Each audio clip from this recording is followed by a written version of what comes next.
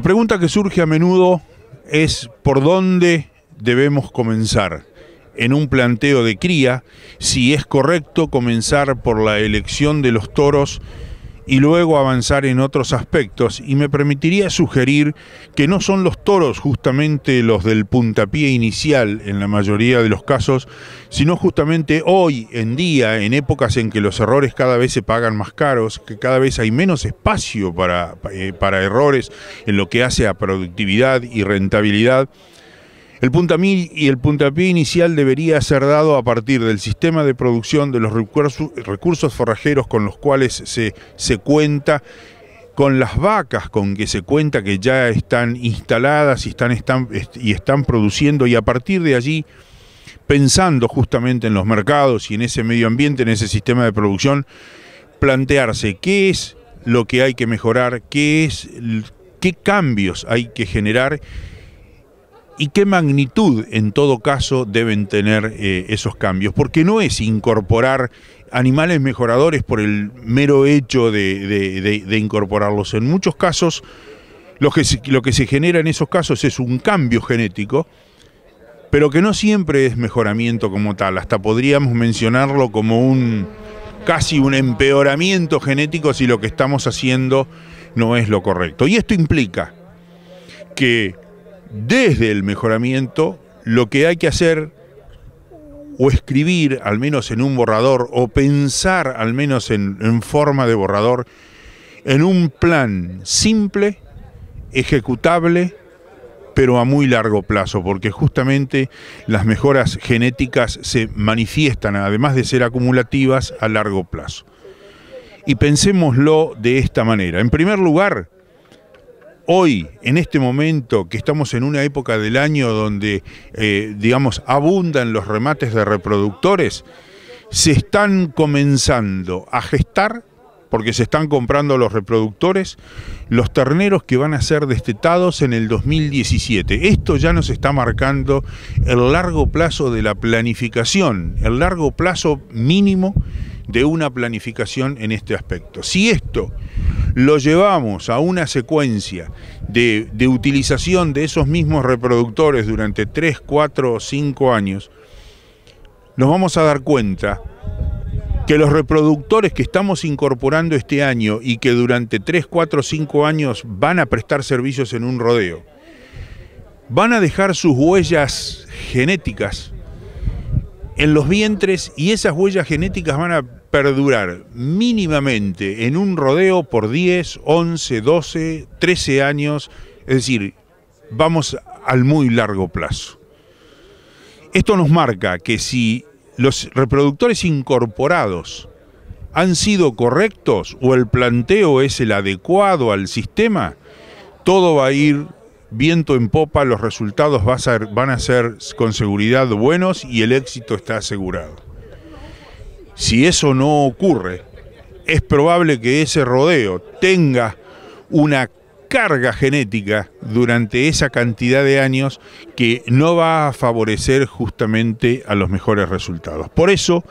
es eh, muy importante, así como hice mención a los vientres, a la importancia de la observación de los vientres, a la importancia de conocer los vientres, a la importancia de ver qué es esos vientres producen y qué es lo que además se quiere lograr. Es importante tener en claro qué tipo de reproductor hay que incorporar que complemente lo que ya hay en el establecimiento que son los vientres para tener un producto final. Léase terneros, terneros en recría, novillos terminados, hembras de reposición que funcionen adecuadamente. No es un tema menor la incorporación de los toros tampoco,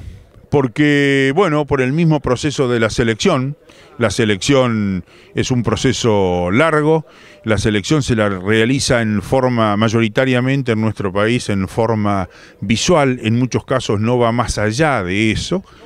eh, la selección debe contemplar el aspecto visual, es muy importante la observación, pero también debe contemplar e incluir a lo que denominamos diferencias esperadas de progenie, que no es más que la evaluación del genotipo de esos individuos y la determinación o estimación de su potencial genético y que puede ser transmitido a su descendencia. Siempre es conveniente utilizar estas dos herramientas, me refiero a la observación visual y a las diferencias esperadas de progenie, en forma equilibrada a efecto de, incorporar los mejores reproductores. Un aspecto que sigue siendo conflictivo en el mejoramiento genético y la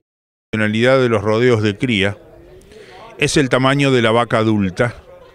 y a esto no escapa el tamaño de los reproductores a incorporar. Yo no podría hacer referencia a un quilaje exacto o a un tamaño exacto. El tamaño de las vacas adultas se expresa a través de lo que se denomina el peso adulto de los vientres, que se lo mide o toma normalmente en la época del destete, cuando las vacas ya tienen un ternero de 3 a 4 meses, 3 a 5 meses gestando y se destetan, reitero, en ese momento en una buena condición corporal esa medida, ese peso, probablemente para la mayoría de las zonas de cría de nuestro país, si tengo que referirme en términos generales, no debería ir mucho más allá de los 420, 430, quizás 450 kilos. Esto no es un valor absoluto, ni estoy fijando ni un, ningún valor tampoco, solo estoy orientando en lo que considero y se ve en las distintas zonas que deberían pesar los vientres. Y lo mismo ocurre con los toros. Hay una enorme cantidad o muy importante cantidad de toros producidos en nuestro país que se ajustan a ese tamaño adulto de la vaca, pero también hay una marcada influencia de genética, en todo caso extranjera, producida en sistemas de producción que nada tienen que ver con, nuestros sistemas de producción, y que